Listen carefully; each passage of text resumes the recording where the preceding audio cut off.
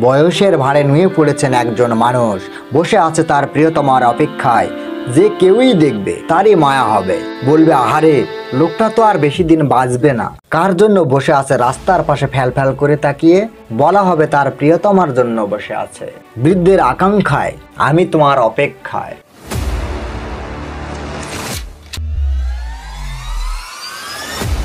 শাকিব খানের এক দুইটি করে তিনটি লোক প্রকাশ করা হয়েছে যা ইতিমধ্যে আপনারা সবাই দেখেছেন।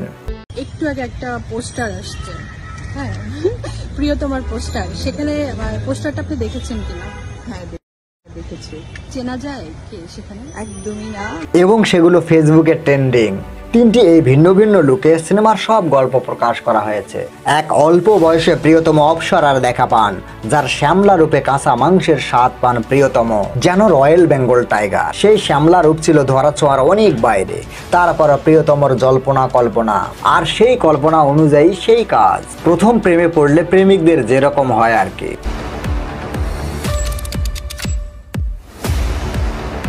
এভাবে কিছু সময় কেটে যায়। বয়স বাড়বে স্বপ্ন বাড়বে কিন্তু বাস্তবে রূপ নেবে না। হয়তো এই বিচ্ছেদটা প্রাকৃতিক কারণেই হতে পারে।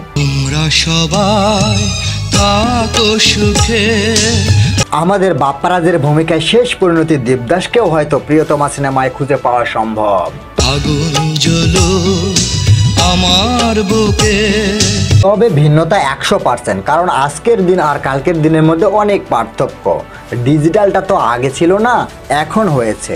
এমের নাম বেদনা। আমরা সেই রকম প্রিয়তমার আপডেটই পেতে যাচ্ছি। প্রিয়তমা সিনেমায় যেমন রোমান্স আছে, তেমনি অ্যাকশন ত্যাগ, মহানুভবতা, ক্ষমা আর ভালোবাসা ফুটিয়ে তোলা হয়েছে। তবে অনেক সিনেমার মাঝে প্রিয়তমা খুঁজে পেলেও ভিন্নতাটা হচ্ছে সময়কাল। প্রিয়তমা সিনেমাটি নারী কেন্দ্রিক হয়ে পুরুষকে মনে রেখে পুরুষটিরই প্রিয়তমা। আমার কথাগুলো পরিষ্কার হবে ঈদের সিনেমাটি দেখার পর।